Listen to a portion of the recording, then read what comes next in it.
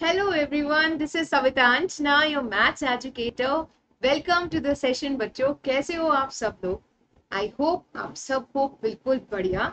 और बेटा आज पता हम क्या शुरू करने वाले हैं? आज हम करने वाले हैं क्लास नाइन का chapter number five Euclid's geometry बहुत ही इंटरेस्टिंग चैप्टर है। इसमें इतना कुछ कैलकुलेशंस नहीं है ना फॉर्मूले हैं सिंपल कुछ रिजल्ट्स हैं। कुछ थ्योरम्स हैं, कुछ चीज़ें हैं जो हमें पता होनी चाहिए और हम सीखेंगे कि कैसे ज्योमेट्री एग्जिस्टेंस में आई। ऐसे कौन से मैथमेटिशियन थे जिन्होंने मैथ्स का फ़र्स्ट प्रूफ दिया और पहले जिन्होंने अपनी बुक लिखी और सारे प्रूफ्स उस बुक में डाले तो ये सारी चीज़ें मैं आज आपको बताऊँगी अपने इस सेशन में।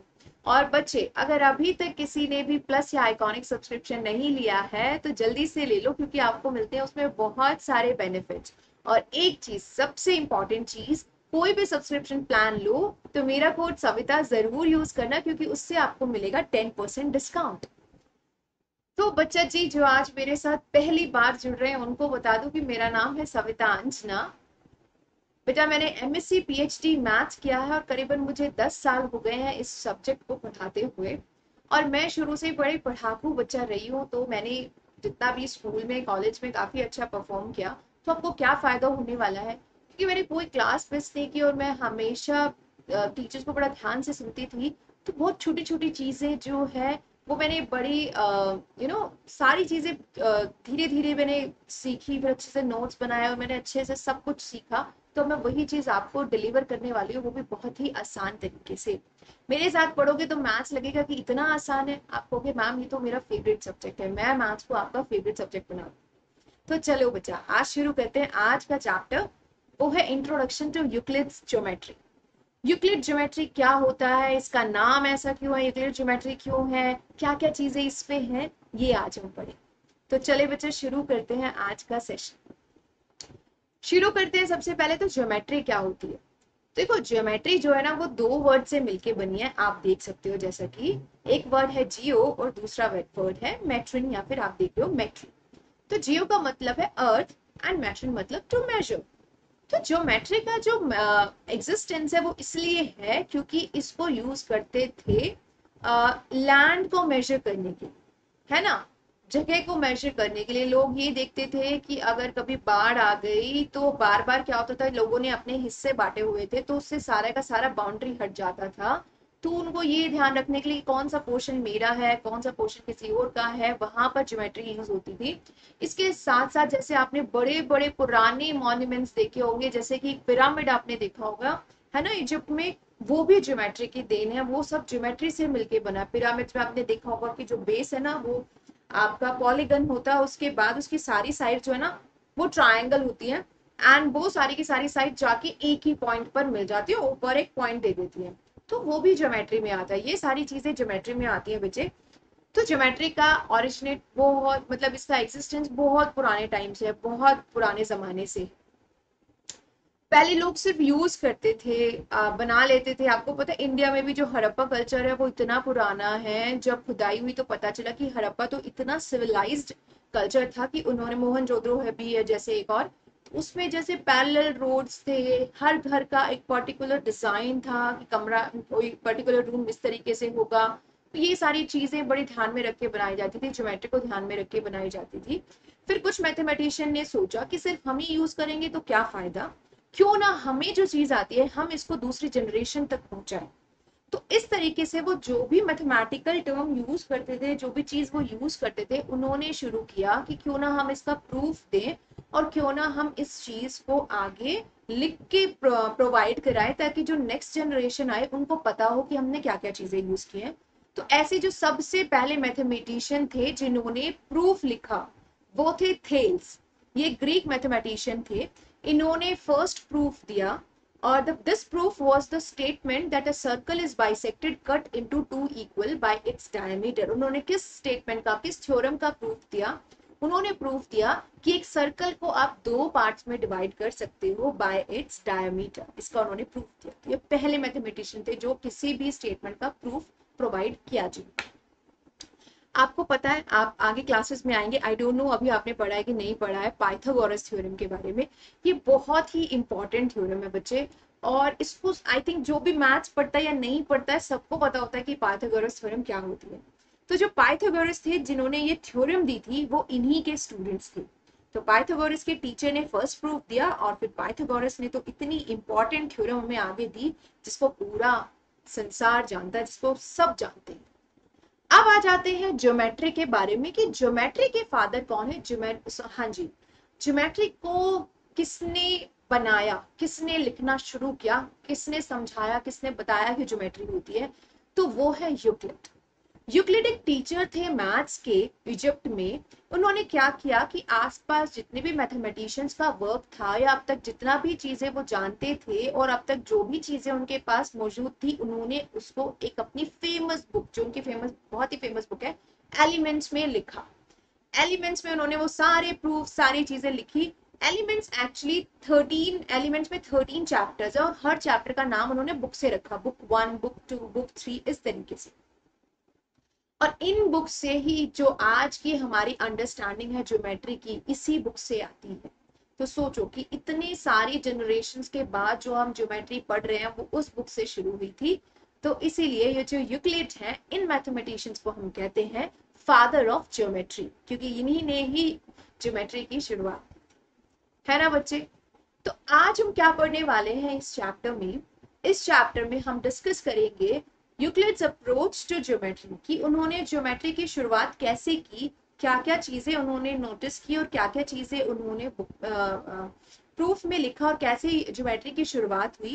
And we will also try to link it with the present day geometry कि आज के टाइम में जो हम ज्योमेट्री यूज़ करते हैं, वो उस पुरानी ज्योमेट्री से कैसे मिलती जुलती है, इन दोनों में क्या सिमिलैरिटी है, ये हम पढ़ेंगे अपने इस चैप्टर तो आप सब लोग हो जाओ बेटा जी रेडी नोटबुक और पेन लेके, क्योंकि अब हम पढ़ने वाले हैं chapter number five Euclid's geometry तो देखो एक्चुअली यूक्लिड्स ने बेटा सबसे पहले तो बहुत सारी चीज़ें डिफाइन की। उन्होंने डिफाइन किया कि एक पॉइंट क्या होता है।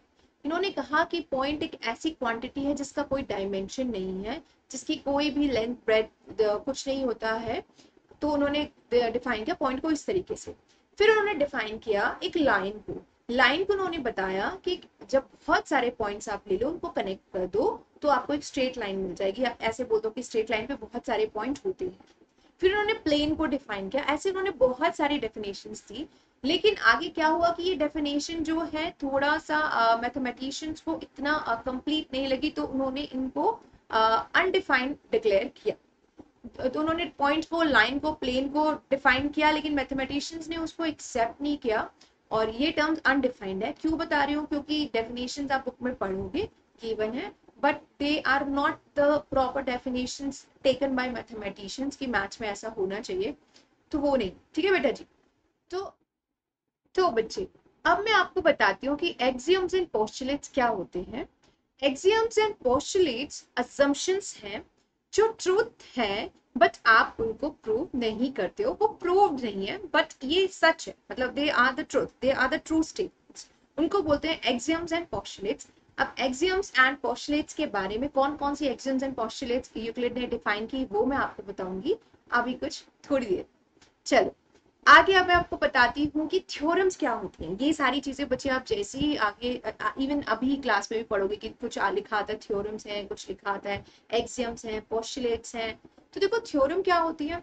थ्योरम ऐसी स्टेटमेंट्स होती हैं जिनका प्रूफ गिवन होता है, जिनको प्रूव किया जा सकता है यूजिंग डेफिनेशन एक्सियम्स या प्रीवियसली प्रूव्ड स्टेटमेंट्स और बाय डिडक्टिव रीजनिंग तो थ्योरम्स क्या है? ऐसी स्टेटमेंट्स जिनका प्रूफ होता है और एक्सियम्स एंड पोस्टुलेट्स क्या है? ऐसी स्टेटमेंट्स जो ट्रू होती हैं बट इनका प्रूफ नहीं होता है। ठीक है बच्चों? तो चलिए, अब आगे बताती हूँ कि यूक्लिड्स ने ऐसी कौन कौन सी एक्सियम्स दी जो अभी हमें पता है? तो उसमें से जो पहली एक्सियम है, वो ये है बच्चे things which are equal to the same thing are equal to one another in axioms को ध्यान से देखना, क्योंकि इन एग्ज़ाम्स को हम यूज़ करेंगे आगे कुछ रिजल्ट्स को प्रूव करने के लिए। तो पहला क्या है?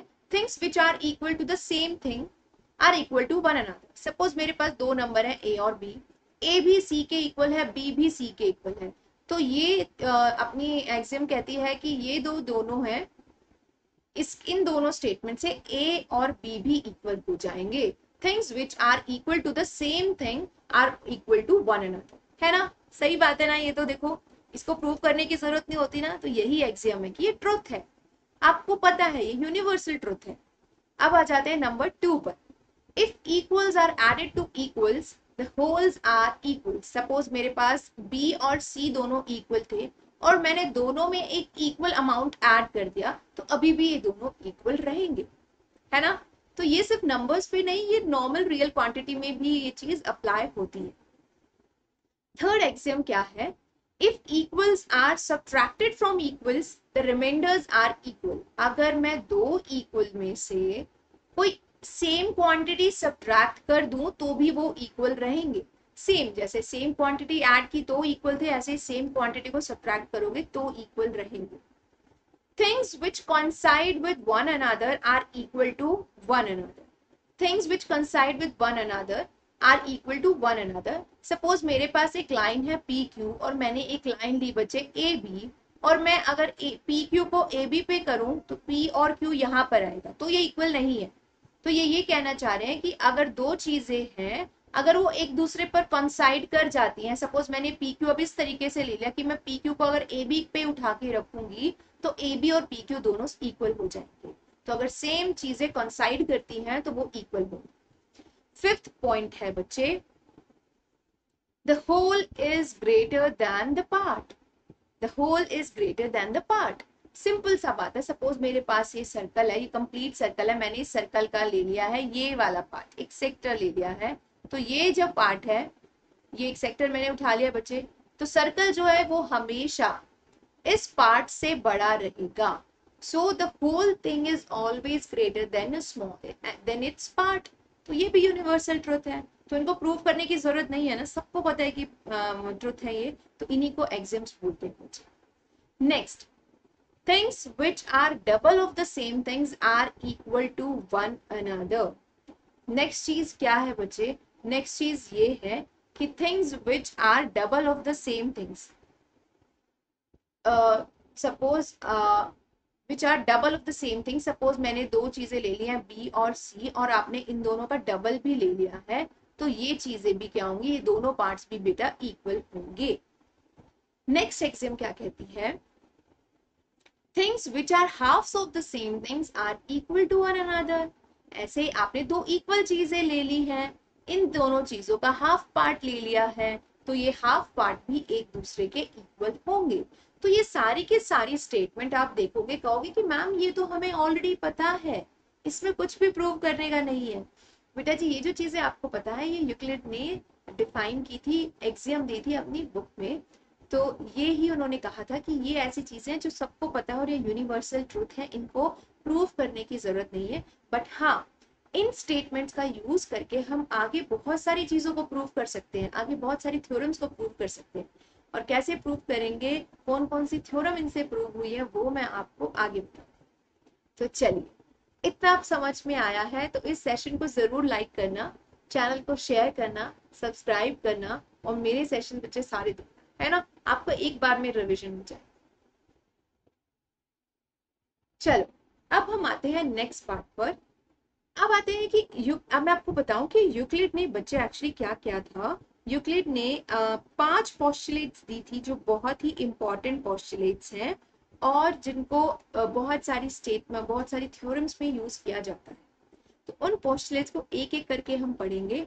बीच बीच में मैंने आपके एनसीईआरटी बुक के क्वेश्चंस भी डाले हैं। उनको भी सॉल्व करेंगे। कुछ क्वेश्चंस मुझे लगा कि इजी हैं, आप कर लोगे। वो मैंने नहीं डाला क्योंकि हम तो एक बार में पूरा रिवाइज कर रहे हैं ना। तो मैंने जो इंपॉर्टेंट क्वेश्चन थे, वो मैंने इसमें डाले हैं। आप उनको ज़रूर करना। बट येस बच्चे, जो क्वेश्चन रह गए हैं, उनको डेफिनेटली करना। ऐसा नहीं है कि ये क्वेश्चन कर लोगे तो वो पेपर में नहीं आएँगे एग्ज़ाम्स में नहीं आएँगे, वो भी आ सकते हैं एग्ज़ाम्स में। बट वो मैंने आपके लिए होमवर्क छोड़ा है कि जो मैं एनसीआरटी के क्वेश्चन यहाँ पे करा दूँगी, वो तो यहाँ पे हो ही जाएँगे। जो बच गए हैं, वो आपको अपने आप से करने हैं, ये सेशन कंप्लीट होने के। ठीक है? चलो तो फ़र्स्ट पोस्टुलेट देखते हैं हम कि फ़र्स्ट पोस्टुलेट क्या है। तो बच्चे, जो फ़र्स्ट पोस्टुलेट है, वो है a straight line may be drawn from any one point to any other point उन्होंने कहा कि एक पॉइंट ले लो आप, हमने एक पॉइंट लिया है ए इस पॉइंट से एक straight line may be drawn from any one point to any another point एक और दूसरा पॉइंट ले लो बी और जब कहीं पे भी ले सकते हो बी मैं यहाँ पे लेती तो एस इधर लाइन ड्रॉ हो जाती. तो अगर मैंने बी पॉइंट यहाँ पे लिया तो एक स्ट्रेट लाइन ड्रॉ हो ठीक है, अगर मैंने एक पॉइंट यहाँ पे लिया होता, एक पॉइंट यहाँ पे लिया होता तो ऐसी भी एक स्ट्रेट लाइन ड्रॉ हो जाती। एक पॉइंट यहाँ लेती, एक पॉइंट यहाँ लेती तो भी एक लाइन स्ट्रेट लाइन ड्रॉ हो जाती। तो सिंपल सी बात क्या है पोस्टलेट क्या है, जिसको प्रूव करने की ज़रूरत नहीं है straight line may be drawn from any one point to any another point इसको हम दूसरे तरीके से भी कैसे बोल सकते हैं? Given two points, there is a unique line that pass through them बहुत इंपॉर्टेंट रिज़ल्ट है। ये हमेशा याद रखना कि अगर आपके पास दो पॉइंट्स है ना तो उनसे सिर्फ़ एक ही स्ट्रेट लाइन पास होती देखना, आप एक ऐसी लाइन जिनसे पे दोनों पॉइंट आ जाए, हमेशा सिर्फ़ एक ही लाइन मिलेगी, एक यूनिक लाइन इतना समझ में आया? चल, आगे बढ़ते हैं। आगे बताती हूँ बेटा postulate number two actually one two three and four तो इतनी इजी पोस्टुलेट्स थी कि उन पे ज़्यादा किसी ने ना एक्सप्लेनेशन दी, ना ज़्यादा उन पे प्रूफ दिए। उनको वो सिंपल स्टेटमेंट्स लगी और सबको एक बार में ही समझ आ गई। जो थोड़ी बहुत ट्रिकी थी, वो पोस्टलेट फाइव थी, वो मैं आपको डिटेल में समझाऊँगी और उस पर बेस्ड क्वेश्चन भी करेंगे। ठीक है बच्चे तो पहली पोस्टुलेट क्या थी कि दो पॉइंट से सिर्फ़ एक सिंगल लाइन ही पास हो सकती है। आप आ जाओ पोस्टुलेट नंबर टू पर। वो क्या कहती है? A terminated line can be produced indefinitely yes इन्होंने कहा है कि अगर आपके पास कोई लाइन सेगमेंट है सपोज़ ए बी टर्मिनेटेड मतलब इसके दोनों एंड्स यहीं पे खत्म हो रहे हैं कि आप इस लाइन को पीछे भी काफ़ी जितना बढ़ाना चाहो उतना बढ़ा सकते हो आगे भी जितना बढ़ाना चाहो उतना बढ़ा सकते हो। A terminated line can be produced indefinitely And according to the present day terms, the second postulate says that a line segment can be extended on either side to form a line. तो अभी यहाँ से बेटा दो definition मिल गई जो आज हम, आज इस टाइम हम यूज़ करते हैं। एक है लाइन क्या होता है और एक लाइन सेगमेंट क्या होता है। तो लाइन सेगमेंट तो ये टर्मिनेटेड लाइन जिसमें दोनों एंड्स पे ये रुक गए हैं ए बी पर आकर और जब आप इन दोनों को एक्सटेंड कर दोगे दोनों साइड तो ये लाइन सेगमेंट क्या बन जाती है? लाइन बन जाती है बेटा। क्या बन जाती है? लाइन बन जाती है। ऐसे बोलते हैं ना कि लाइन ड्रॉ करो। आपने ऐसे सुना है लाइन सेगमेंट ड्रॉ करो? क्योंकि लाइन सेगमेंट और लाइन दोनों अलग होते हैं। लाइन को आप कितना भी बड़ा, छोटा कर सकते हो according to your need but line segment का आपको एंड जो है आपने फिक्स कर दिया तो फिक्स हो गए, फिर नहीं बढ़ाओगे। तो वैसे लाइन को हम बढ़ा सकते हैं। तो वहाँ पे तो पोस्टलेट यही थी कि टर्मिनेटेड लाइन को बढ़ा सकते हो आगे, और आज की ज्योमेट्री में उसको ये बोल देते हैं कि लाइन सेगमेंट को आप बढ़ा के उसको लाइन में कन्वर्ट कर सकते हो। ठीक है बच्चे? चलिए बच्चे अगर कोई भी डाउट होता है कमेंट सेक्शन में लिखना मैं ज़रूर आपका उसका आंसर दूँगी ठीक है? चलो अब आगे बढ़ते हैं और बताती हूँ कि थर्ड पॉस्टुलेट क्या तो जो थर्ड uh, पॉस्टुलेट थी जो यूक्लिड ने हमें बताई वो ये है a circle can be drawn with any centre and any radius मैंने आप एक सर्कल ड्रॉ कर सकते हो कोई भी रेडियस लेकर और कोई भी सेंटर लेकर सपोज़ मैंने ये सेंटर लिया और ये रेडियस आर ली तो भी आप एक सर्कल ड्रॉ कर सकते हो राइट अब ये सर्कल ठीक से नहीं बना, आप अच्छे से ड्रॉ करना बेटा। ऐसे अगर मैंने यहाँ पर कोई पॉइंट लिया ओ डैश और मैंने ये रेडियस आर ली तो भी आप इससे एक सर्कल ड्रॉ कर सकते हो। यानी कि सर्कल किसी का सेंटर पॉइंट और रेडियस ले लो तो आप हर जगह एक सर्कल ड्रॉ कर सकते हो। अब आ जाते हैं postulate number four postulate number four क्या है? All right angles are equal to one another ध्यान रखना राइट ट्रायंगल ही राइट एंगल राइट एंगल बेटा 90 डिग्री का होता है। तो चाहे मैं ये ओ ए बी एंगल लू, या फिर मैं सी डी ए एंगल लू, ये जो राइट right एंगल है, ये दोनों में इक्वल होगा। यानी ये, क्योंकि ये 90 है, ये भी 90 है, दोनों इक्वल होंगे। तो ये जो चार स्टेटमेंट थी, ये इतनी सिंपल थी कि इनका प्रूफ की ज़रूरत नहीं है और सबको पता है कि ये यूनिवर्सल ट्रुथ है। यूनिवर्सल ट्रुथ मतलब जो हर जगह ट्रुथ है, जो सबको पता है कि ट्रुथ है है ना? आ जाइए। अब आता है, इन चार जो हमने पोस्टुलेट्स पढ़ी हैं, इन पे बेस्ड पहला रिज़ल्ट तो ये जो चार हमने पोस्टुलेट पढ़ी है, इन पे बेस्ड बेटा मैं आपको रिज़ल्ट बताती हूँ पहला। पहला थ्योरम बताती हूँ। Two distinct lines cannot have more than one point in common देखो, पहली पोस्टलेट पढ़ी थी हमने कि दो पॉइंट से सिर्फ़ एक ही लाइन पास हो सकती है। अभी क्या थ्योरम आपने प्रूव करनी है? टू डिस्टिंक्ट लाइन दो अलग अलग लाइन है। ए एंड बी और एक लाइन है पी एंड क्यू तो उन्होंने कहा है कि two distinct lines cannot have more than one point in common यानी कि ये दो लाइंस जो है ना, वो एक दूसरे को सिर्फ़ एक ही पॉइंट पर कट कर सकती हैं।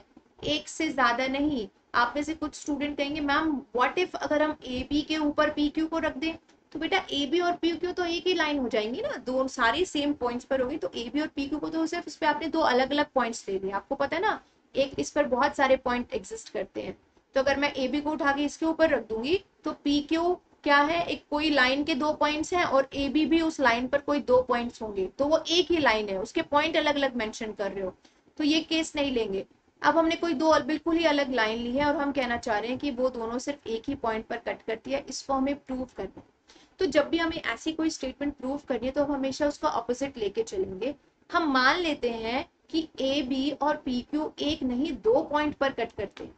Let us assume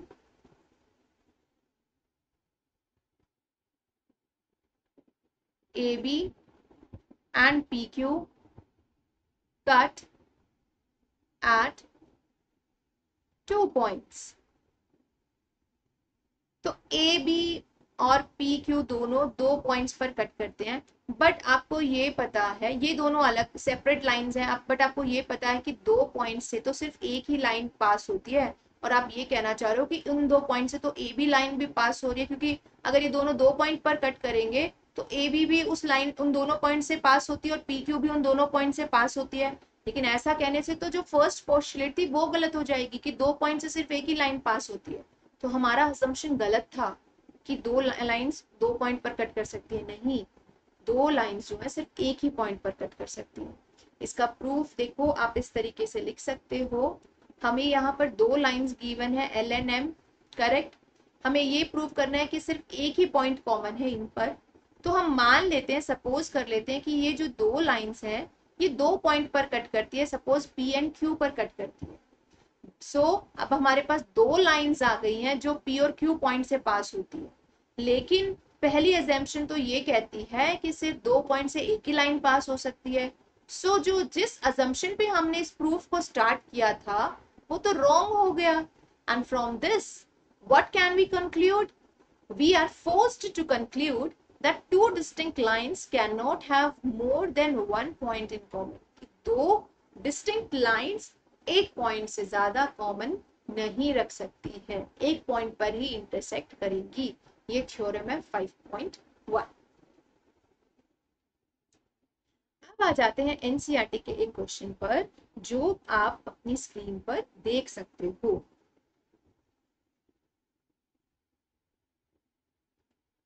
क्या है वो क्वेश्चन ये रहा first question give a definition for each of the following terms क्या करना है आपने? नीचे कुछ टर्म गिवन है, जैसे कि ये रहा पैरेलल लाइंस क्या है परपेंडिकुलर लाइंस क्या है लाइन सेगमेंट क्या है रेडियस क्या है और स्क्वायर क्या है। आपने इनको डिफाइन करना है और वो पूछ रहे हैं, क्या इन टर्म्स को डिफाइन करने के लिए कुछ और डिफाइन करना ज़रूरी है पहले? और वो क्या है और कैसे उनको डिफाइन करोगे? देखो पैरेलल लाइंस की बात कर रहे हैं तो लाइन को डिफाइन करना ज़रूरी है। करेक्ट लाइन क्या होता है? लाइन सेगमेंट की बात करेंगे तो पॉइंट आएगा इसके ऊपर। पॉइंट को डिफाइन करना ज़रूरी है। पॉइंट क्या होता है? सर्कल लोगे तो सर्कल में भी सेंटर आएगा, वो भी उसमें एक पॉइंट आता है तो पॉइंट को डिफाइन करना ज़रूरी है। स्क्वेयर जब स्क्वेयर ड्रॉ करते हो, किसके ऊपर ड्रॉ करते हो? प्लेन के ऊपर ड्रॉ करते हो तो प्लेन को भी डिफाइन करना ज़रूरी है, क्योंकि ये सारी की सारी की चीज़ें किसी में लाइन यूज़ हो रहा है, किसी में पॉइंट यूज़ हो रहा है, किसी में प्लेन यूज़ हो रहा है, और ये सब चीज़ें पहले यूक्लिड ने डिफाइन की थी तो हमें भी जब हम कोई नई डेफिनेशन देने चाह रहे हैं, हमें इन चीज़ों को डिफाइन करना पड़ेगा। तो पॉइंट क्या होता है बच्चे? Point is a very small quantity which has no dimension जिसकी कोई डायमेंशन नहीं होती, ना ही तो इसका लेंथ होता है, ना इसका ब्रेथ होती है. It has a position it has only position इसकी सिर्फ़ पोजिशन होती है. इसकी सिर्फ़ बच्चे पोजिशन होती है. ठीक है?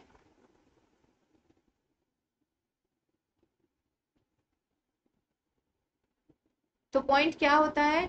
Point is a quantity which has no dimension, a small quantity which has no dimension, and it has only position. Point सिर्फ़ position बताता है। दूसरा आ जाओ बच्चे लाइन लाइन क्या होता है? लाइन होता है a collection of points line is a single ऐसे बोल सकते हो कि प्लेन में आप बहुत सारे पॉइंट्स ले लीजिए और इनको एक सिंगल उससे कनेक्ट कर दीजिए। तो इसको हम लाइन बोल देते हैं। Line consist of so many different points ठीक है बच्चे? अब मैं आपको बताती हूँ कि प्लेन क्या होता है। प्लेन क्या होता है? प्लेन होता है एक पोर्शन एक सरफेस जिस पर बहुत सारी लाइंस ड्रॉ होती है। जिस पर बहुत सारी लाइंस ड्रॉ होती है। ठीक है? तो ये हो गया आपका प्लेन इतनी बातें समझ में आई बच्चे? सबको लैग अगर समझ में आई है बच्चे तो जल्दी से इस सेशन को लाइक करो। ठीक है? ओके बच्चे? एक पता एक दूसरी तरीके से भी आप इन चीज़ों को डिफाइन कर सकते हो, जैसे कि लाइन को ऐसे भी बोल सकते हो बेटा। एक ऐसी क्वांटिटी जिसकी सिर्फ़ लेंथ होती है ब्रेथ नहीं होती। ठीक है? तो वो ज़्यादा आई थिंक बेटर सेंस करेगा। पॉइंट्स कलेक्शन ऑफ़ पॉइंट्स होता है बट ऐसे भी आप फिर कुछ बच्चे कंफ्यूज हो जाओगे मैम ये भी तो पॉइंट्स हो गया इनको कनेक्ट करेंगे तो ये तो लाइन नहीं हुई। बिल्कुल करेक्ट बात है। तो लाइन क्या हो जाएगी बच्चे? लाइन को बेशक इस तरीके से डिफाइन करो। Line is a quantity which has only length and no breadth सिर्फ़ लेंथ लेंथ होती है ब्रेथ नहीं होती।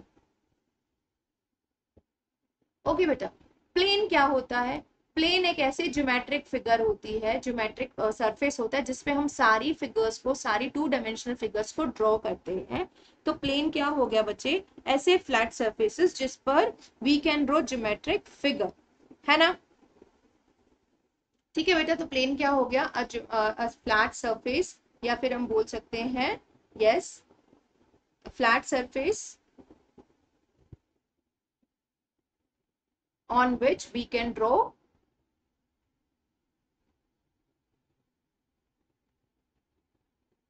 geometric figures.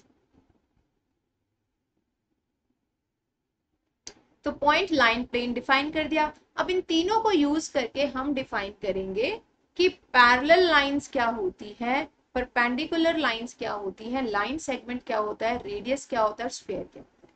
पहला तो हो गया बच्चा, चलो पैरेलल लाइन क्या होता है।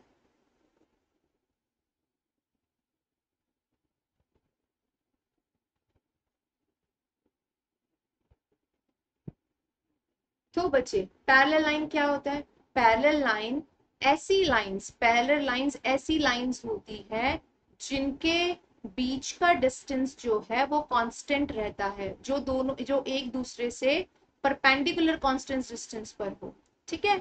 या इस तरीके से भी बोल सकते हैं those lines which never intersect each other and are a constant distance from constant perpendicular distance from each other तो पैरेलल लाइंस क्या होती है? Those lines which never intersects with each other and uh, those and with and and those have and these have constant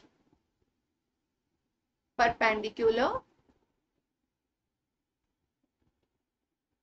distance okay अब मैं बताती हूँ बेटा दूसरा परपेंडिकुलर लाइंस क्या होती है? तो परपेंडिकुलर लाइंस कौन सी लाइंस परपेंडिकुलर लाइंस वो लाइंस होती है जो एक दूसरे को 90 डिग्री पर इंटरसेक्ट करे। Perpendicular lines those lines which intersects each other 90 degree. इतनी चीज़ें क्लियर हुई सबको बहुत ही बढ़िया। अब मैं बताती हूँ एक और चीज़ लाइन सेगमेंट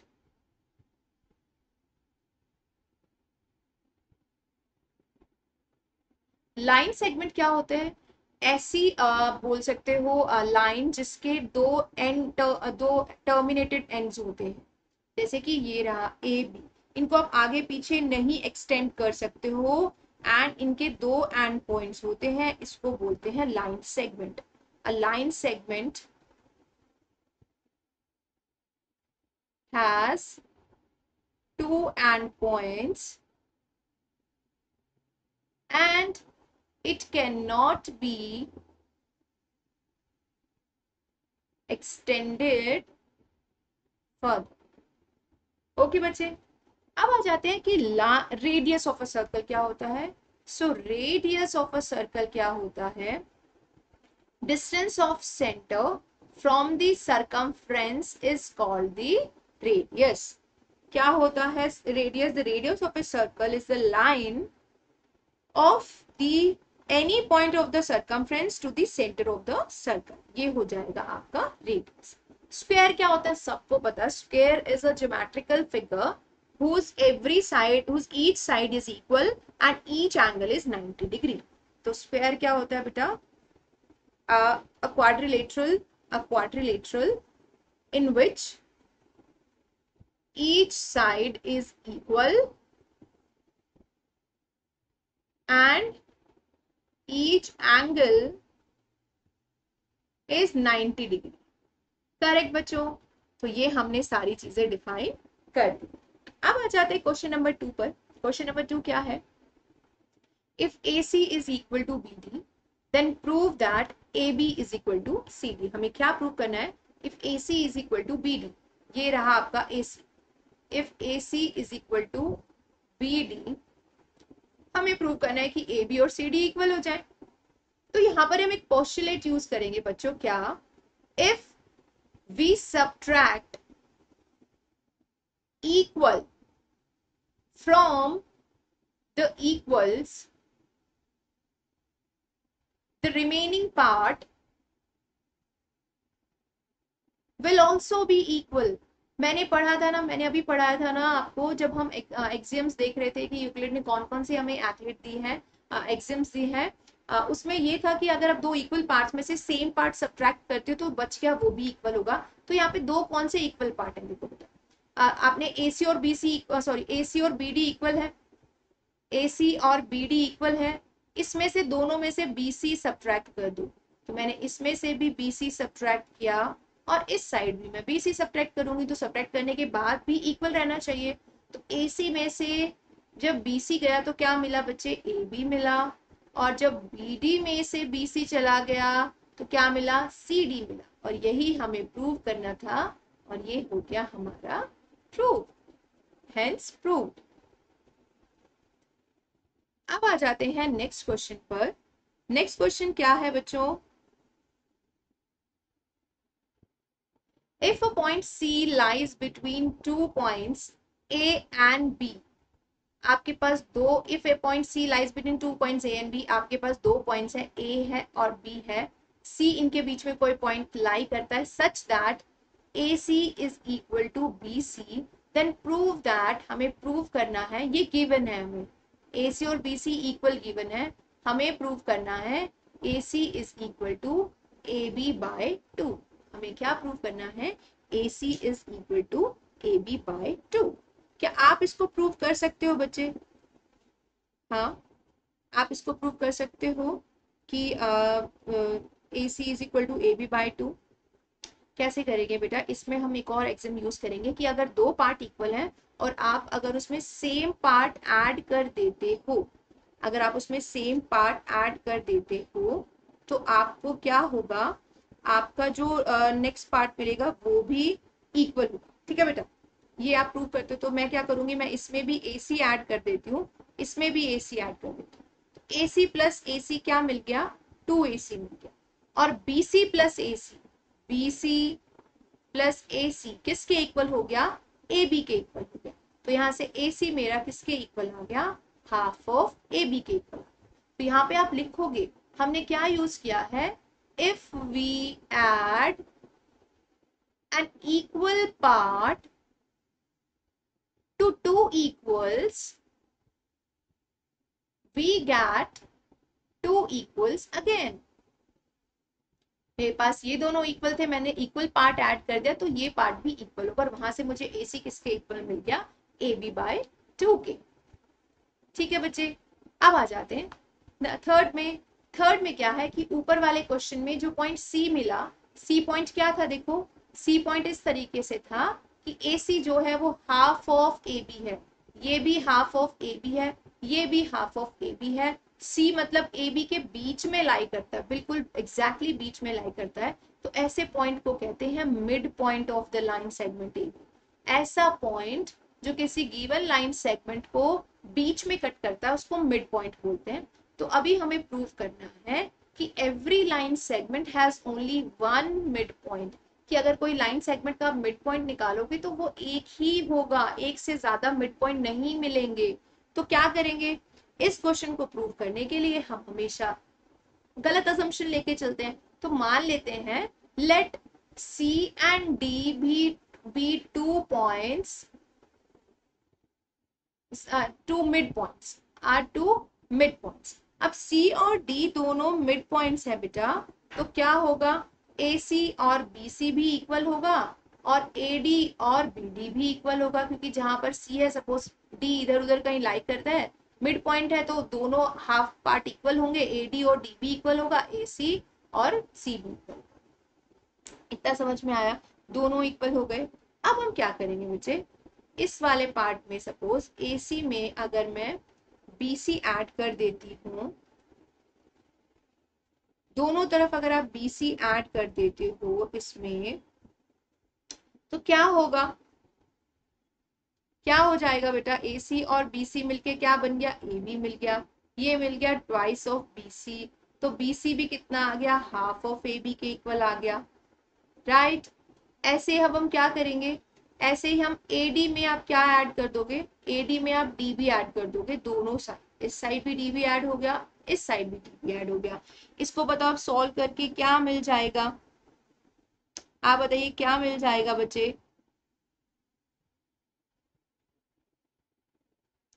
इसमें आपको मिल जाएगा A B is equal to twice of B D तो यहाँ से बी डी भी किसके इक्वल आ गया? ए बी बाई टू के इक्वल आ गया। दोनों लाइन इक्वल आ गई। तो बी सी और बी डी क्या हो गए यहाँ से? इक्वल हो गए। बी सी और बी डी दोनों क्या हो गए? इक्वल हो गए। तो यहाँ से हमें क्या पता चला कि सी और डी पॉइंट तो एक्चुअली एक ही पॉइंट पर लाई करते हैं। सी और डी पॉइंट तो एक्चुअली दोनों एक ही पॉइंट पर लाई करते हैं। करेक्ट इतनी बातें समझ में आई आप सबको।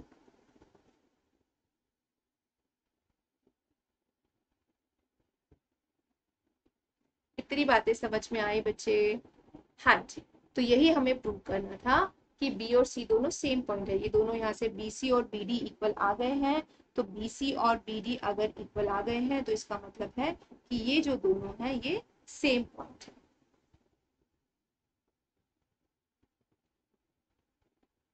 अब आ जाते हैं हम पोस्टलेट नंबर फाइव पर। पोस्टलेट नंबर फाइव बहुत ही इंपॉर्टेंट है। ये थोड़ी सी डिफरेंट है, ये थोड़ी सी टफ भी लगती है बाकी जितनी भी हमने पोस्टुलेट्स पढ़ी हैं उनसे। तो ये वाली पोस्टुलेट हमें क्या कहती है? ये पोस्टुलेट हमें कहती है कि if a straight line following on two straight line दो स्ट्रेट लाइन है मेरे पास, एक ये है और सपोज़ एक ये लाइन है और एक स्ट्रेट लाइन के ऊपर इस तरीके से गिरती है। Such that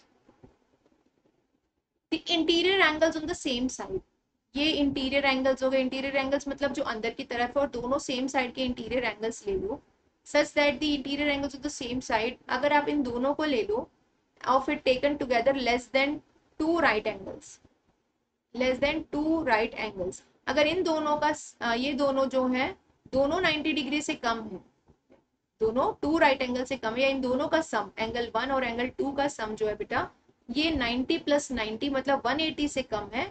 तो ये जो दो लाइंस हैं, ये इसी साइड आगे जाके कभी ना कभी मिल जाएँगी, एक दूसरे को इंटरसेक्ट कर देंगी। फिफ्थ पोस्टलेट ये कहती है।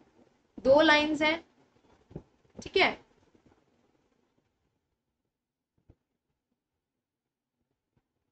आपने एक लाइन ली आपने इंटीरियर एंगल लिए, अगर इन दोनों इंटीरियर एंगल का सम 180 से कम है बच्चे लेस देन 180 है तो ये दोनों लाइंस जो है, आगे जाके कभी ना कभी मिल जाएँगे। ये थ्योरम ये स्टेट करती है। इसको और सिंपल वर्ड्स में कैसे बोल सकते हैं इससे और क्या चीज़ें निकाल सकते हैं हम? तो इसके इक्वलेंट दो दो इक्वल इसके वर्जन है, दो इक्वलेंट डेफिनेशन है। पहली ये for every line L and for every point P not lying on L suppose मैंने एक लाइन ले ली है एल और मैंने एक पॉइंट ले लिया है पी तो पी से एक ऐसी यूनिक लाइन पास करेगी जो एल के पैरल होगी। और दूसरी स्टेटमेंट क्या है? Two distinct intersecting lines can not be parallel to the same lines क्या कहना चाह रहे हैं कि दो आपके पास डिस्टिंक्ट इंटरसेक्टिंग लाइन्स है, दो इंटरसेक्टिंग लाइन्स हैं? ये दोनों लाइंस एक लाइन के पैरेलल नहीं हो सकती। यस फिर क्यों नहीं हो सकती? क्योंकि देखो, अगर इसके पैरेलल में कोई लाइन खींचूँगी तो ये लाइन इसको कट करेगी। और अगर इस लाइन के पैरेलल कोई लाइन खींचूँगी तो ये लाइन इसको कट करेगी। तो जो फिफ्थ पॉस्टुलेट है, उसके दो तीन रूप है। पहला तो ये कि दो लाइंस है, एक लाइन को कट कर रही है तो अगर अंदर वाले एंगल्स का सम 180 से कम है तो वो दोनों लाइन उसी साइड आगे जाके मिल जाएँगी। एक्सटेंड करोगे तो एक दूसरे को इंटरसेक्ट करेंगे। यहाँ से पैरल लाइन की डेफिनेशन आ जाती है। कैसे बच्चों? कि अगर वो जो दो इंटीरियर एंगल थे, ये जो दो इंटीरियर एंगल है, क्या हो अगर इनका सम 180 हो जाए? लेस देन है तो मिल जाएँगे, लेकिन अगर 180 हो गया बेटा तो ये कभी नहीं मिलेंगे, ना इस साइड मिलेंगे, ना इस साइड मिलेंगे, और ऐसी लाइंस को पैरल लाइंस कहते हैं। इसीलिए ये जो डेफिनेशन है, ये एक्चुअली हमें पैरल लाइन की डेफिनेशन देती है। वो यहाँ से मिलती है। और पैरल लाइंस जो नहीं होती, उनको इंटरसेक्टिंग लाइंस बोलते हैं उनको यही बोलते हैं कि अगर दो लाइन कट कर रही है तो वो कभी भी सेम लाइन के पैरेलल नहीं होंगी। ये सारी की सारी है फिफ्थ पोस्टलेट कोई भी लिखो, तीनों फिफ्थ पोस्टलेट ही बताती हैं। तो फिफ्थ पोस्टलेट हमें किसके बारे में बताती है? पैरेलल लाइंस के बारे में बताती है। तो यहाँ पे हमें मिला है how would you rewrite fifth postulate so that it would be easier to understand तो आप इसको पैरेलल लाइन की पैरेलल लाइन की डेफिनेशन में लिख सकते हो कि जो अपना फिफ्थ पोस्टलेट है, वो एक्चुअली हमें बताता है कि पैरल लाइंस क्या होती है? ये हमें पैरल लाइंस की डेफिनेशन के बारे में ठीक है बच्चे जी, इतना समझ में आया सबको? तो जल्दी से इस सेशन को लाइक करना, है ना? और अपना नेक्स्ट सेशन ज़रूर देखना। चलो बच्चे, आगे बढ़ते हैं अभी।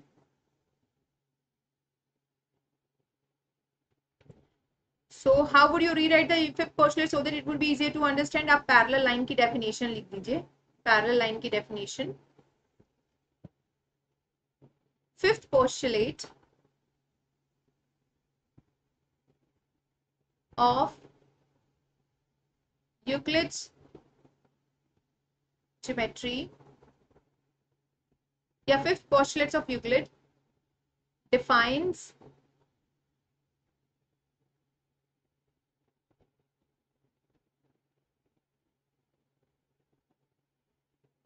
defines parallel lines that is those lines which never intersects each other and which are at a distance of which are at a constant distance which are at a constant distance of 90 degree to each other. इतना समझे बच्चे? तो ये थी fifth postulate तो fifth postulate बड़ी आसान से टर्म्स में पैरेलल लाइंस को डिफाइन करती है। तो ये जितने भी अटेम्प्ट एक्चुअली क्या किया? कुछ फिर मैथमेटिशियंस ने जो पहले हमने चार पोस्टुलेट्स पढ़ी, उनको यूज़ करके फिफ्थ पोस्टुलेट को प्रूव करना चाहा बट नहीं हो पाए इस काम में वो successful all the attempts to prove The fifth postulates using the first four postulates failed, but they led to the discovery of several other geometries. और यहाँ से बहुत सारी नई नई geometries का um, शुरुआत हुई और उन्हें बोलते हैं नॉन यूक्लिडियन ज्योमेट्रीज तो अगर आपसे कोई पूछे नॉन यूक्लिडियन ज्योमेट्रीज क्या है? ऐसी ज्योमेट्रीज जो पहली चार पोस्टुलेट से डिराइव हुई। और जो एक्चुअली हम क्या करना चाह रहे थे उन चार पोस्टुलेट से? फिफ्थ पोस्टुलेट्स को प्रूव करना चाह रहे थे डिराइव करना चाह रहे थे बट वो तो हुआ नहीं, लेकिन एक नई ज्योमेट्री बन गई, बहुत सारी नई ज्योमेट्रीज बन गई, जिनको नॉन यूक्लिडियन ज्योमेट्रीज बोलते हैं। तो बच्चे, अगर आपको ये सेशन अच्छा लगा है तो मैं आपको बता दूँ कि अगर आप सब्सक्रिप्शन प्लान लेते हो तो वहाँ का प्लेटफॉर्म बिल्कुल ही अलग है। वहाँ पर आपको क्या मिलता है? आपको लाइव आप घर बैठकर किसी भी टाइम पढ़ सकते हो। आपको सारा का सारा कोर्सेस मिलेगा अनलिमिटेड एक्सेस मिलेगा उन सारे कोर्सेस का। इंडिया के टॉप एजुकेटर्स आपको पढ़ाएँगे। रेगुलर डाउट सॉल्विंग सेशंस होंगे। पूरा का पूरा सिलेबस कवर होगा। मेंटरशिप मिलेगी स्टडी मटेरियल मिलेगी। प्रैक्टिस टेस्ट होंगे लाइव टेस्ट सीरीज़ होगा और सारा बेचा बैच में बैच में कोर्स शुरू होगा। ये सारे फ़ायदे हैं सब्सक्रिप्शन प्लान के। तो प्लस सब्सक्रिप्शन प्लान की डिटेल्स आपके सामने है, बच्चों। तीन महीने के लिए भी प्लान ले सकते हो। देखो, ये बिल्कुल जैसे आपकी कोई ट्यूशन फ़ी होता है, उतना ही है twenty five hundred per month पड़ता है, या फिर आप सेवन फाइव ज़ीरो ज़ीरो पे कर सकते हो। लेकिन अगर आप मेरा कोड सविता यूज़ करोगे ना तो इस पर भी टेन परसेंट ऑफ़ मिलता है। टेन परसेंट मतलब सेवन फिफ्टी इसमें से माइनस हो जाएगा। तो प्लान सिक्स मंथ के लिए ले सकते हो twelve fifteen eighteen twenty four thirty six and forty eight month कोई भी प्लान लो, उतना ज़्यादा ऑफ़ है। ये 23 परसेंट ऑफ़ ये 50 परसेंट ऑफ़ ये 52 परसेंट ऑफ़ पे मिल रहा है और मेरा कोड यूज़ करोगे तो एक्स्ट्रा 10 परसेंट ऑफ़ है। तो ये है प्लस सब्सक्रिप्शन के बारे में बच्चे। ऐसे अगर एक और सब्सक्रिप्शन प्लान है आइकॉनिक सब्सक्रिप्शन प्लान जिसमें आपके पर्सनल मेंटोर मिलते हैं जो आपको पर्सनली गाइड करते हैं, आपके रेगुलर डाइट सॉल्विंग सेशंस होते हैं, आपकी वीकली रिपोर्ट रेडी की जाती है, आपके पेरेंट्स कनेक्ट हो सकते हैं स्टडी प्लानर मिलते हैं और अन अकेडमी आपके सारे के सारे बेनिफिट्स यहाँ पर मिलते हैं बच्चे। तो इसके भी जो प्लान है वो देख सकते हो। तीन मंथ सिक्स मंथ बारह, पंद्रह, अठारह मंथ के लिए एक साथ पे कर सकते हो। मेरा कोड यूज़ करोगे तो टेन परसेंट डिस्काउंट और मिलेगा। तो बच्चे, अगर अभी तक आपने नहीं लिया है कोई भी प्लान तो जल्दी से लेना और मेरा कोड यूज़ करना सविता। और बाकी सारे सेशंस के लिए ज़रूर आना इस चैनल पर और सारे सेशंस देखना सेशन को लाइक करना। और अन अकेडमी आपको डाउनलोड नहीं किया है तो जल्दी से करना ठीक है बच्चों take care and let's crack it